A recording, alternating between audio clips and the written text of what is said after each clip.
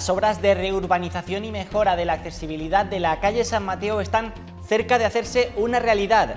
El ayuntamiento va a invertir más de un millón de euros para darle a esta calle del barrio del Pla un aspecto más amable, cómodo y más accesible para los viandantes.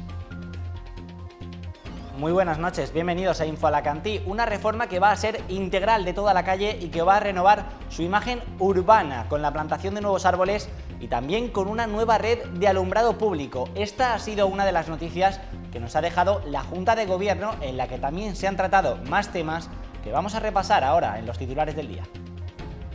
La zona de la playa de San Juan cuenta con numerosas zonas verdes como el Parque La Marjal. El Ayuntamiento de Alicante pretende adecuar la zona con más zonas verdes y aprovechar todos los elementos disponibles para mejorar esta zona turística y hacerla un poco más verde y sostenible. La reurbanización del barrio de San Gabriel y los dos aparcamientos disuasorios en la zona están cerca de ser una realidad. Se ha aprobado el proyecto para realizar las obras que contemplan la remodelación de la avenida de Elche, el acondicionamiento del margen izquierdo del Barranco de las Ovejas y los dos aparcamientos que habilitarán 261 nuevas plazas para estacionar. Un cazador ha confundido a un ciclista con un conejo en el monte Orgegia de Alicante y lo ha herido hasta con un centenar de perdigonazos. Este suceso ha destapado el debate político y desde el ayuntamiento solicitan a la Generalitat que mejore la señalización en este parque forestal para que no vuelva a ocurrir algo parecido.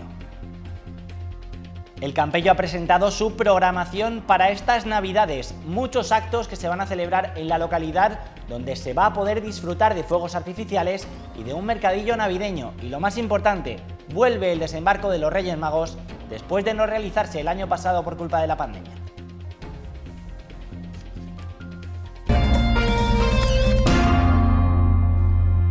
Se ha celebrado la Junta de Gobierno local del Ayuntamiento de Alicante, que viene cargada con muchos temas importantes esta semana. La primera de la que vamos a hablar es la adjudicación de las obras de reurbanización y mejora de la accesibilidad de la calle San Mateo. El Ayuntamiento destinará más de un millón de euros para darle un aspecto más amable, más cómodo y sobre todo más accesible para los viandantes. El Ayuntamiento de Alicante baraja desde hace meses iniciativas en aras de hacer la ciudad más amable al peatón y de paso reducir la contaminación que genera el tráfico rodado, cosa que se llevará a cabo en torno a obras que eliminen barreras arquitectónicas para los transeúntes. Es lo que ha comunicado la Junta de Gobierno Municipal después de aprobar una inversión de más de un millón de euros. Con esta cantidad se van a llevar a cabo trabajos que amplíen las aceras para los peatones, priorizando sus itinerarios sobre el tráfico rodado. Debo significar que es un ejemplo más de las numerosas actuaciones de modernización en calles, plazas y parques que, se está, que está desarrollando el equipo de gobierno en los barrios de Alicante. Las obras incluyen también la creación de más espacios arbolados y una iluminación más sostenible, unos trabajos que mejorarán el entorno del mercado municipal del barrio de Carolinas. Esta ya es una de las actuaciones destacadas, destacadas en la modernización del barrio de Carolinas Altas, que continúa la reurbanización de la avenida Padres Pla y a las obras de renovación del mercado municipal situado en la calle San Mateo. Las obras en San Mateo siguen la senda de las ejecutadas en meses anteriores en las principales arterias del barrio, como Padres Pla. La propia Junta de Gobierno ha aprobado la penalización que van a aplicar a la empresa encargada de las obras de la fase 2 de la explanada debido al retraso de las mismas. Concretamente se va a aplicar una sanción de 13.168 euros por los 22 días de demora en la finalización de la reurbanización del paseo. Las obras estaba previsto que se terminaran el pasado 28 de agosto de 2021 y la empresa extendió las labores hasta el 28 de septiembre, lo que supone una penalización diaria de 598 euros por cada uno de los 22 días hábiles de demora en el plazo de la ejecución de estas obras. Otro de los puntos que se han tratado es el de los ascensores del Castillo de Santa Bárbara. Los elevadores, que habían permanecido cerrados a consecuencia de la pandemia, se reabrieron hace unas semanas tras pasar varias revisiones pertinentes. Dos semanas después de reabrirse, se tuvieron que volver a cerrar por un problema eléctrico causado por la caída de un rayo. El ayuntamiento ha recibido ya la pieza de sustitución que repondrá cuanto antes para volver a hacer operativos estos ascensores. Me acaban de comunicar que la pieza ya está aquí y que en un par de días, en breve antes del puente, estará reparado el ascensor, con lo cual estará en funcionamiento. Está aquí el, está aquí el concejal y me lo acaba de comunicar. Y otra de las mejoras que han sido aprobadas es la de la adecuación de las zonas verdes de la avenida Costa Blanca. El ayuntamiento quiere aprovechar todos los elementos disponibles para mejorar esta zona turística y hacerla un poco más verde y más sostenible. Las áreas PAU 4 y 5 del Plan General de Ordenación Urbana de la ciudad de Alicante establecen la creación de dos parques urbanos. Se trata de un requisito de las actuaciones urbanísticas que han de contener por cada cantidad de hormigón otro tanto de zonas verdes. La Junta de Gobierno Municipal ha aprobado hoy crear dos de estas últimas. Se ubicarán en el entorno de la avenida Costa Blanca, entre la zona norte y la playa de San Juan, un área en la que se ubican otros parques como la Marjal, al que complementarán sobre parcelas escasamente acondicionadas. Esta actuación forma parte del desarrollo en tres fases del nuevo parque urbano de cerca de 300.000 metros cuadrados situados frente al Parque Sergio Melgares, con, el que se habilitará una gran zona verde lúdico-cultural y parque urbano de instalaciones con instalaciones deportivas. El presupuesto del proyecto asciende a casi 630.000 euros, con los que se van a crear dos nuevas zonas verdes en una de las principales áreas de expansión de la ciudad la preparación de las parcelas para el desarrollo del proyecto definitivo, empezando por las demoliciones y actuaciones previas, movimientos de tierras, ejecución de instalaciones con pavimento, riego y jardinerías, entre otras. Una de las nuevas zonas verdes se situará sobre un aparcamiento de caravanas que dejará de tener tal fin en este 2021.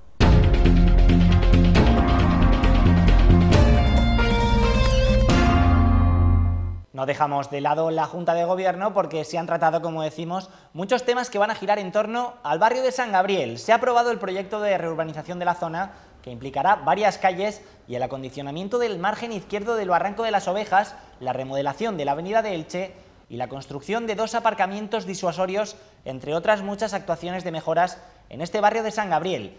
El proyecto para construir estos dos aparcamientos disuasorios contempla que se realizarán sobre parcelas municipales y que habilitarán 261 nuevas plazas en una superficie de más de 5.600 metros cuadrados.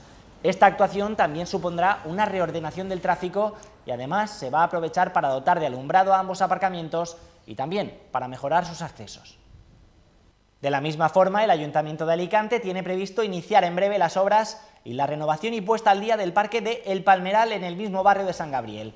Este parque es uno de los espacios verdes más singulares de la capital y contará con una inversión de 350.000 euros para su reparación. El proyecto del área de parques y jardines de la Concejalía de Medio Ambiente contempla, además de la puesta al día de las instalaciones generales, la transformación del circuito de bicis BMX actual en una pista de inercia para que además de las bicicletas pueda ser utilizada por skates, por patines y también por patinetes. También en la Junta de Gobierno se ha dado luz verde a la convocatoria del concurso para organizar la Feria del Libro 2022 en Alicante. Como novedad, el Ayuntamiento ha incluido en la oferta que la entidad que organice este encuentro cultural deberá contar en la programación con un 40% de escritores naturales o domiciliados en Alicante y provincia. Será la edición número 52 de la Feria del Libro de Alicante que aunque todavía no cuenta con fechas concretas, está programada para el mes de mayo y se celebrará en la Plaza Séneca. El programa también incluirá un mínimo de dos conferencias de escritores de reconocido prestigio vinculadas al mundo del libro y de la literatura y un mínimo de dos actividades infantiles diarias, como pueden ser cuentacuentos o talleres, que incentiven el interés por la lectura y la cultura para los más pequeños, así como visitas escolares todos los días lectivos que dure la feria.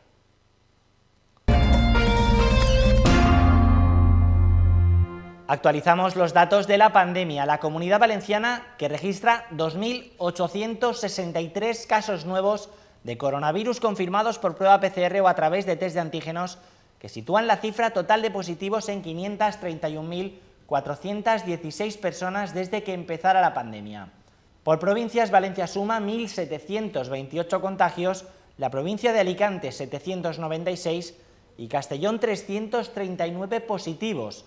Además, se han registrado cuatro fallecimientos por coronavirus desde la última actualización de personas de entre 63 y 97 años, por lo que el total de decesos desde el inicio de la pandemia aumenta a 7.917 personas en la comunidad valenciana. Como ya saben, desde el próximo viernes 3 de diciembre entrará en vigor el pasaporte COVID en la comunidad valenciana. Será necesario para acceder a locales con un aforo superior a 50 personas y también para eventos con más de 500 asistentes, además de para visitar a pacientes ingresados en residencias o en hospitales. ¿Cómo se solicita este documento? Pues hay que entrar en la web que ha habilitado la Generalitat Valenciana y clicar sobre solicitar el certificado digital de la Unión Europea. La propia web nos va a pedir nuestros datos de la tarjeta sanitaria y también la fecha de nacimiento y el código de control. Si nuestro número de teléfono es correcto, nos enviarán un SMS con el código de verificación y al introducirlo ya nos saldrá la opción para descargar este certificado. Aquí podemos obtener el documento que acredite que estamos vacunados o también el resultado de una prueba PCR o antígenos, así como un certificado de recuperación por haber pasado la enfermedad en los últimos seis meses. Con este documento ya podremos entrar sin problemas a cualquier evento local desde este viernes. Y en el apartado de sucesos hemos conocido que un cazador ha confundido a un ciclista con un conejo en el monte Orgegia de Alicante. Este ciclista ha recibido hasta 100 impactos de la zona lumbar, las piernas y las manos, y este hecho ha alimentado el debate sobre si hay que prohibir o no la caza en este lugar. Esto es un conejo, esto otro, un ciclista. Las diferencias parecen claras, algo que no pareció tener tan claro el cazador que disparó no con uno, sino con hasta 100 perdigones a este hombre que circulaba por el monte Orgegia. El ayuntamiento hoy se mostraba claro en su postura. Exigir a Consejería que cuando menos empiece a, o verifique la, la señalética que hay, eh, que valore si, es, eh, si puede mantenerse en esa vía o no la, eh, el coto de caza. Eso sí que lo vamos a, a comunicar. El cazador poseía todos los permisos en regla para realizar la actividad y se encontraba en una zona habilitada. Por ello, la oposición propondrá su prohibición en el Pleno. No se puede permitir cazar en el Monte Orgegia. Y es que no es la primera vez que sucede. Diversos partes de policía local diciendo de la complejidad y la peligrosidad que tenía la práctica de la caza con las rutas senderistas y ciclistas que ahí confluyen. Lo que pudo acabar en una historia trágica fue solo un susto una confusión que ha salido cara al ciclista, que se repone de las numerosas heridas y con una anécdota que le convirtió por unos minutos en un conejo de caza.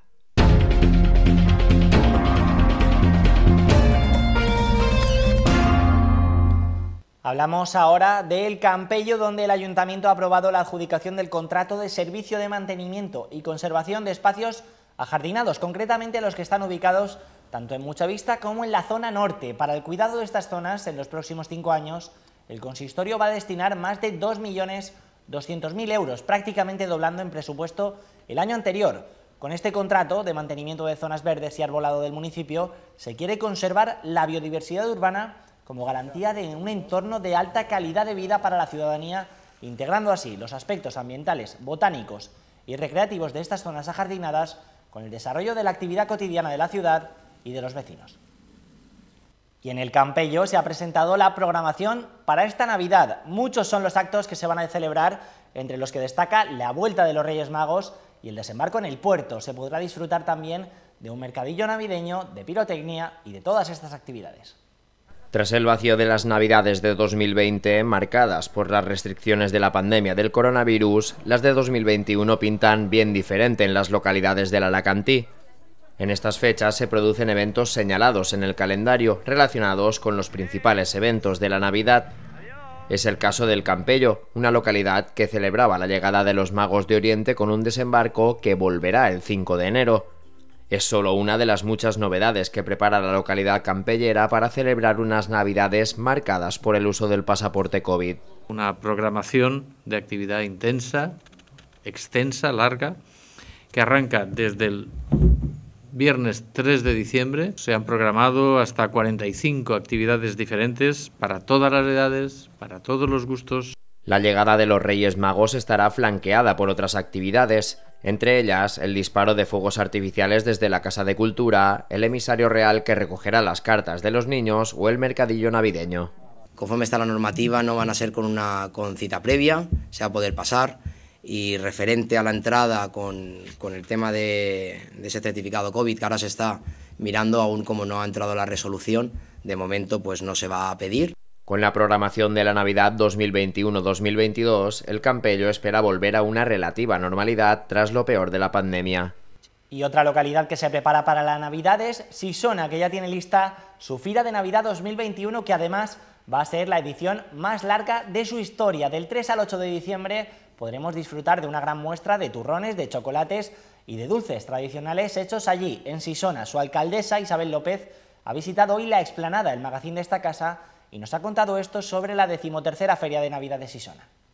Es una feria que ha ido creciendo de manera exponencial desde su primera edición, ha crecido, crecido y crecido.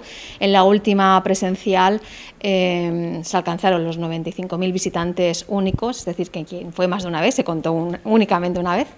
Y en esta feria, pues yo ahora mismo eh, diría, insistiría en lo mismo, que quien venga, que venga con ganas de pasarlo bien, de disfrutar de la Navidad, de irse cargado de productos navideños de primera calidad.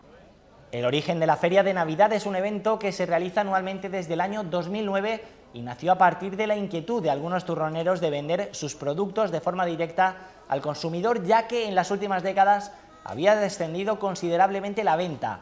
Después de muchos esfuerzos y esperas a causa de la pandemia COVID-19, el año pasado se celebró la feria del turrón de Sisona de forma virtual, evitando así cualquier peligro de contagio y este año regresa con todas las medidas de seguridad pertinentes. No podemos descuidarnos en un momento porque la pandemia todavía no la hemos, nos ha finiquitado y tenemos que estar muy pendientes. La mascarilla, por supuesto, porque eh, viene mucha gente y es importante que guardemos eh, pues todas las precauciones posibles, las eh, distancias la medida de lo posible y la mascarilla siempre. Terminamos como siempre con la actualidad deportiva. Hitor Baró, buenas noches. Se acerca el día grande para el CFI Alicante.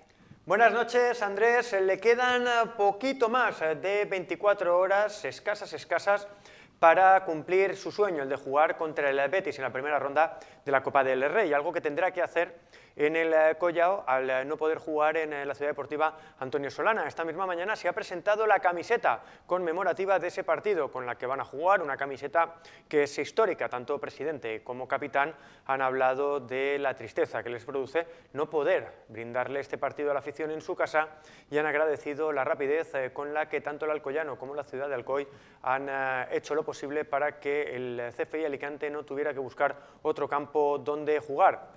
Eso será, como decimos, mañana a partir de las 9 de la noche. Escucharemos lo que han dicho tanto Antonio García, presidente, como Pedro Chinchilla, capitán, dentro de nada en Sport Alacantí. En un Sport Alacantí donde, Andrés, también ah, vamos a escuchar las palabras de Rolanda Sayaxtas, uno de los ah, lituanos del HL ah, Alicante, y hablaremos de baloncesto femenino con Alba Ibáñez. Eso, pues eh, nada, ahora cuando acabe esto el informativo y el tiempo. Muy completito y Sport Alacantí, y el Betis que viene con todo, eh, con Fekir, entre otros. Bueno, se ha dejado un par, pero que vengan Fekir y Joaquín ya es motivo suficiente como para acercarse al gol. Pues habrá que acercarse a Aitor. De momento esta noche escuchamos y vemos Sport Alacantí. Muy buenas noches. Buenas noches. Hasta aquí toda la actualidad alicantina del día de hoy. Ahora les dejamos como cada día con nuestro compañero Jordi Payá y con el tiempo. Nosotros volvemos mañana a la misma hora en Info Alacantí y como cada día les vamos a recordar que pueden seguir al minuto todas las noticias en alacantitv.com, en nuestra página web y también a través de todas nuestras redes sociales. Gracias, como siempre, por seguir un día más aquí a nuestro lado.